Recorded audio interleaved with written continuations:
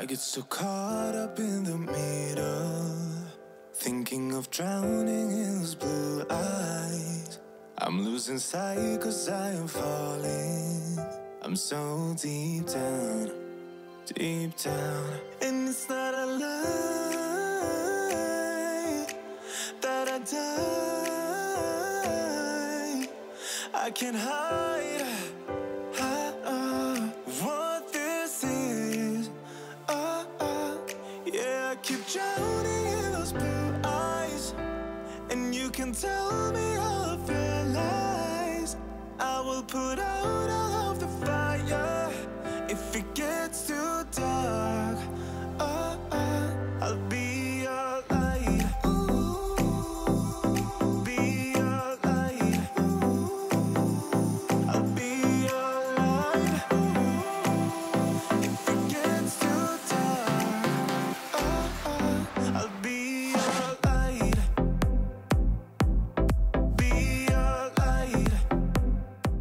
Das ja, immer. ja, wenn du da vorne Ja, da wollte ich ja gerade hinhalten. So. Deswegen habe ich jetzt gerade überlegt. das So, jetzt tun. Leute, wir sind fertig. Hat ganze zwei Stunden gedauert. Ja, Oh. aber die Frau war sehr nett, die uns betreut hat. Und ja, ich weiß nicht so richtig. Also irgendwie haben wir jetzt äh, eine Treppe, die günstiger ist, aber es ist ein sehr großer Kompromiss, finde ich. Mhm. Also so. mm, Aber alles andere wäre halt trotzdem um die 10.000, 8.000 Euro gewesen und oder 12 und das ist einfach nicht möglich. Also müssen wir jetzt aus dem Kompromiss das Beste draus holen und ähm, ja, sonst außen alles so, wie wir uns das vorgestellt haben und wir haben jetzt noch, weil man immer so einen Gutschein hatte, ähm, für 1000 Euro haben wir jetzt noch die Innentüren bei denen mitbestellt. Ähm, jetzt ist es halt nur irgendwie so, dass wir bei, an sich mit dem Gutschein genauso viel bezahlen, wie ich vorher rausgerechnet hätte, wenn man die Türen online bestellt. Vielleicht sind die Ohne Türen Gutschein, aber vielleicht sind die besser und stabiler. Also die anderen online habe ich ja noch nie haptisch gesehen. Und im Baumarkt wären die auf jeden Fall ähnlich teuer gewesen oder teurer sogar. Die waren jetzt echt. Ja, also von Dinger. daher denke ich mal, sollte das ganz gut sein. Jetzt fahren wir los. Mein Finger stirbt gerade. Und wir haben jetzt beschlossen, dass wir jetzt nochmal einen Umweg über Dortmund, ist es? Mhm. Ja, über Dortmund fahren zu Big Boost Burger, weil ähm, Tobi ganz gerne JP-Videos geguckt hat und manchmal noch guckt. Und wenn wir schon mal hier in der Ecke sind, ähm, dachten wir, fahren wir da mal hin, gucken uns ein paar Autos an. Wenn wir ankommen, hat er noch 15 Minuten zu. Aber ich glaube, das ist nicht so schlimm. Dann essen wir da Mittag und dann fahren wir weiter nach Hause und hoffen mal, dass wir irgendwie heute noch gut ankommen. Weil wenn das genauso auf dem Rückweg aussieht wie letztens, als wir hingefahren sind, da war immer auf der Gegenfahrbahn, auf der anderen Autobahnseite, totaler Stau. Und dann könnte das sein, dass wir stets und ständig im Stau stehen. Aber wir drücken die Daumen, dass die dass die heute alle keine Lust haben zu fahren und schon gar nicht nachmittags. Obwohl die natürlich alle an einem Freitagnachmittag nach Hause wollen. Ach so, habe ich übrigens schon gesagt, hallo und herzlich willkommen zu einem neuen Vlog? Nee, ich glaube nicht. Wir haben jetzt einen neuen Vlog. Und ich muss jetzt aufhören hier zu filmen, weil mein Apfelsaft fällt schon um und mir wird schlecht, wenn ich die ganze Zeit bei Kurven aufs Handy gucke. Guck doch nicht aufs Handy, guck da nach vorne. Ja, aber ich muss ja gucken, ob wir noch im Bild sind. So, also wir sehen uns dann später, wenn wir bei Big Boost Burger angekommen sind. Vielleicht denke ich da dran zu filmen.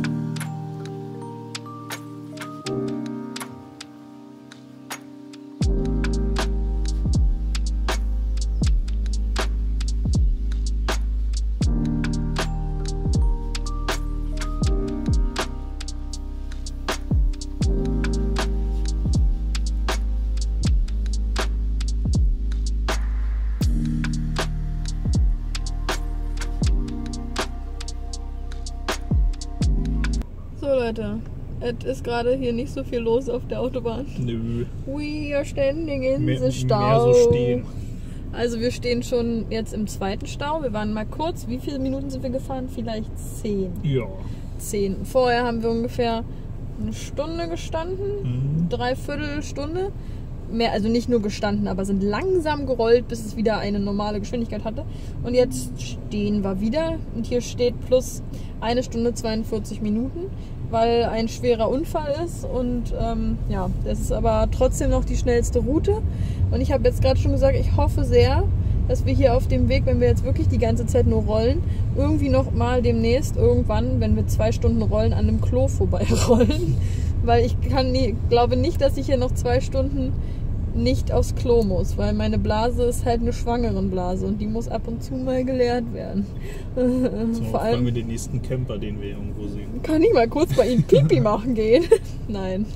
Aber ich habe auch schon gesagt, ich kann mir hier nicht in, in, den, in die Walachei hocken, weil hier ist nicht so viel Walachei.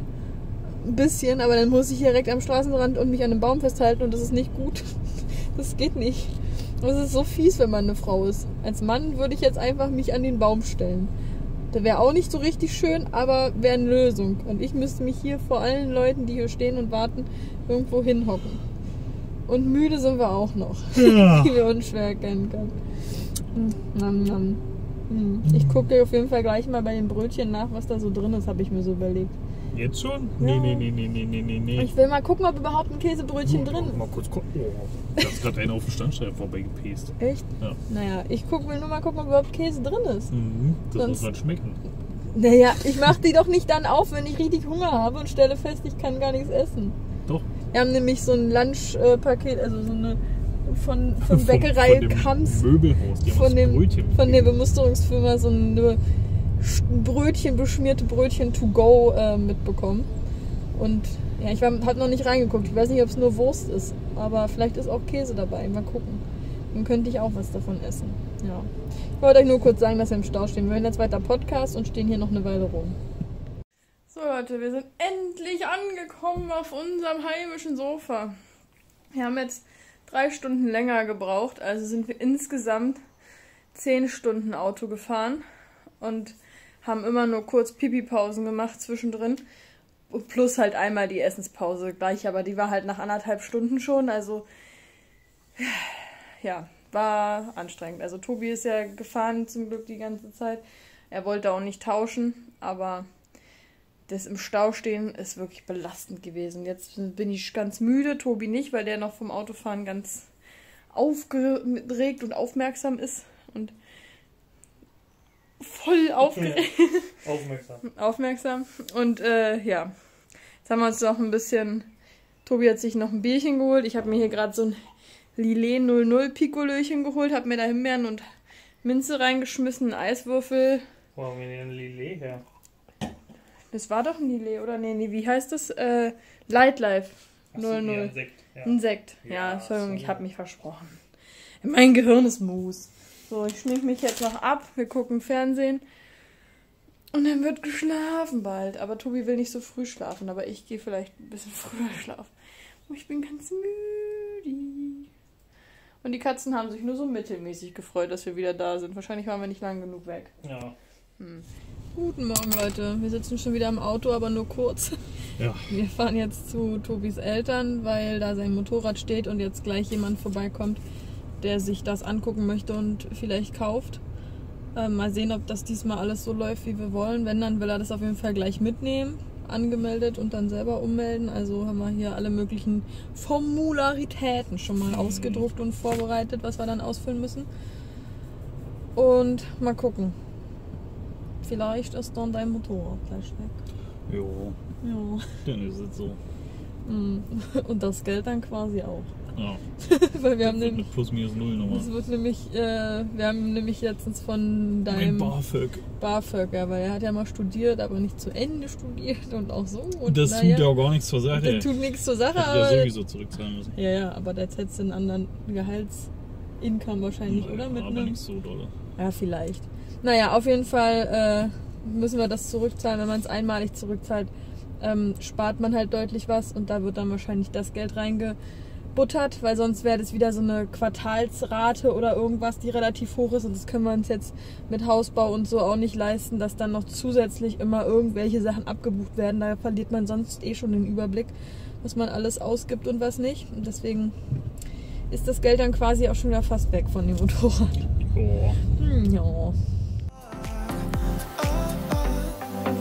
Can carry all that you've got. So, wir sind wieder zu Hause. Ist jetzt aber auch schon 16 Uhr. Wir waren über den Mittag jetzt bei Tobis Eltern. Das Motorrad wurde erfolgreich verkauft. Hat alles gut geklappt. Ähm, ja, und jetzt äh, hatten wir dann noch zusammen Mittag gegessen und haben Tobis Eltern jetzt nach um dreiviertel drei, also 14.45 Uhr noch zum Bahnhof gefahren, weil die jetzt auf dem Konzert gehen, Open Air, irgendwie sowas. Und waren einkaufen. Und jetzt räume ich den Einkauf schnell ein und dann gehe ich nochmal runter, weil irgendwie ist ein Paket bei unserer Nachbarin. Irgendwie kam schon wieder was an. Ich weiß gar nicht was, aber ich muss erstmal schnell die Sachen einräumen, wenigstens die Tiefkühlsachen, weil wir haben auch ein bisschen Eis und so gekauft. Und ja, hier liegt eine Katze im Weg. Eine Katze mag den Tüten. Jenny, es ist gar nicht so, als würdest du da im Weg liegen, aber du bist sehr süß. Also man kann es dir nicht übel nehmen. Two heavy hearts is not a lie. I will put out all of the fire. We stumble and fall.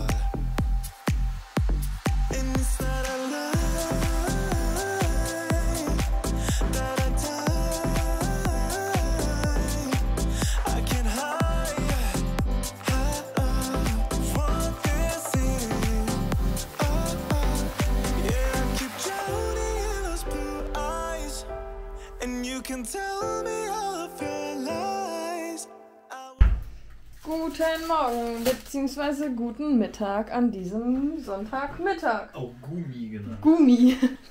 Gummi. Also wir haben jetzt äh, 12 Uhr und fangen jetzt an Mittag zu machen. Viel Bürokratie erledigt. Wir haben gerade viel Bürokratie erledigt, viel Geld überwiesen für Dinge und jetzt sind wir wieder arm. Nein. Naja, doch. Ja. Ein bisschen. Ja, wir mussten Tobis BAföG ja bezahlen, das haben wir jetzt gleich gemacht, damit wir es nicht vergessen. Dann haben wir noch. Was ist auch so, da haben wir uns gerade schon drüber aufgeregt, das ist so bescheuert, für was man noch so Geld ausgeben muss, was mit dem Haus zu tun hat, was überhaupt nichts, also nicht logisch ist. Also wir mussten jetzt zum Beispiel, haben wir einmal fast 200 Euro bezahlt ähm, dafür, dass vorgemerkt wird, dass wir für das Grundstück eingetragen werden. Dann haben wir fast 400 Euro bezahlt, weil wir jetzt für das Grundstück eingetragen wurden. Und das ja so bekloppt ist, weil das, das bezieht sich irgendwie auf den Gegenstandswert des Grundstücks, wie viel das gekostet hat, was man gekauft hat. Aber die haben ja effektiv denselben Arbeitsaufwand, als wenn jemand sich ein Das Grundstück. macht aber schon Sinn. Ja, nee, finde ich nicht. Das ist, um die ganzen Reichen dran zu kriegen. Ja, aber auch die Halbreichen, wie wir werden. Ja, das sind. ist halt gerade der Grundstücksmarkt. Ja, das ist halt richtig. Halbreich hat mir gefallen. Halbreich, naja, Arm. eher, eher arm. Aber nein, wir sind nicht komplett arm, sonst könnten wir uns sowas überhaupt nicht leisten. Wir sind schon Mittelstand. Ja. Naja, auf jeden Fall, äh, ja, ist es ätzend. Wir haben jetzt schon 1500 Euro nur für Sachen ausgegeben, die irgendwelche Vorvermerke, irgendwelche Eintragungen und irgendwas, was noch nicht mal so, also unabhängig von Grundsteuer und sowas ja eh dann nochmal so ein absurd hoher Wert war. Aber ja, äh, egal. Dann ganz, habe ich noch einen Antrag fertig gemacht für die Krankenkasse, dass quasi unser Baby dann auf mich familienversichert mit werden kann. Ähm, da meinte die Dame damals am Telefon, ich soll das einfach schon mal einreichen und halt die Geburtsdatum natürlich freilassen, weil wissen wir ja noch nicht. Ähm, ja. Und das habe ich jetzt eingereicht und dann habe ich von meiner Frauenärztin letztens so einen Schriebs bekommen. Ein oder zwei? Buns oder was? Ja. Brote? Hm, ich weiß nicht, kann ich mir einen Patty durchschneiden? Nee. Hm, hm, ich glaube, ich will nur einen Patty. Dann auch nur ein Brot. Okay. Ja. Ähm, genau, also haben wir das schon mal mit beantragt und das reichen wir dann nach. Und ich habe, wie gesagt, noch was von der äh, Frauenärztin bekommen, ähm, wo quasi mein errechneter Geburtstermin draufsteht. Ich glaube, das ist wegen dem Krankengeld, Mutterschutzgeld oder so, weil da musste ich auch meine IBAN und so eingeben. Das habe ich auch noch hingeschickt. Ja, dann müssen wir uns vielleicht bald schon mal auch mit dem Thema äh, Elterngeld und Elternzeit auseinandersetzen. Also wir wissen schon, wie wir das aufteilen, aber diese Anträge vielleicht auch schon mal ausdrucken und gucken, weil das dauert ja bestimmt auch. Ich weiß nicht. wie man, inwiefern man das schon vorher beantragen kann. Müssen wir dann mal gucken. Das wird jetzt als nächstes geplant. Und ja, jetzt gibt es erstmal Mittag. Und dann war das heute ein sehr bürokratisch produktiver Sonntagvormittag und sonst wird hier nicht mehr viel gemacht, außer gechillt. Das ist die Methode heute für diesen Sonntag. Weil wir gestern dann auch mehr unterwegs waren, als wir dachten und länger. Und gestern Abend haben wir Popcorn gemacht. Also wir haben zweimal Popcorn angebrannt. Selbstgemachtes und einmal haben wir Mikrowellenpopcorn gemacht. Das ist auch ganz gut geworden. Ähm, aber tatsächlich auch ein bisschen angebrannt. Aber naja, wir haben so auf jeden Fall Popcorn gemacht und haben einen Film geguckt. Zwei Filme. Ja.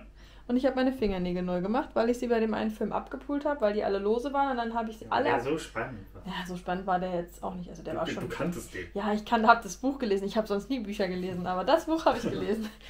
ja, und genau, das war unser gestriger Tag. Und jetzt, ich möchte was trinken und dann gibt es Mittag.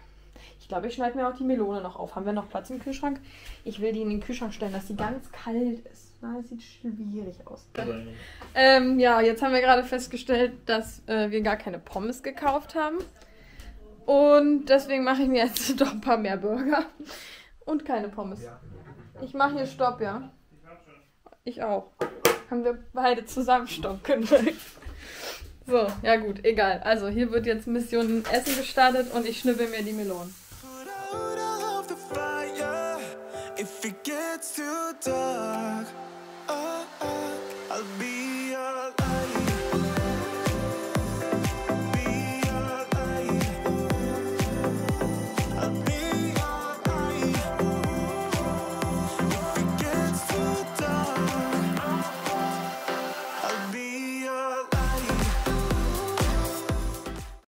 Jörni ist heute auch schon gut in Sonntagsstimmung hier auf dem Sofa.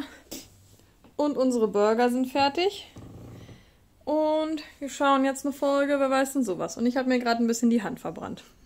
Sehr gut.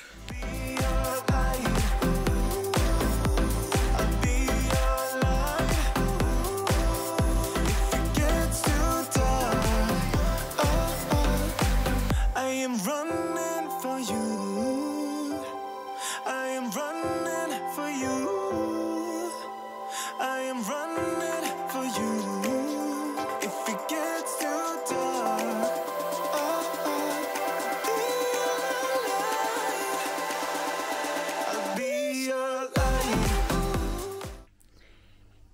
gestern wieder vergessen, Tschüss zu sagen. Also, Tschüssi. Und wir sehen uns dann ähm, im nächsten Vlog. Bis dahin, passt sehr gut auf euch auf. Tschüss.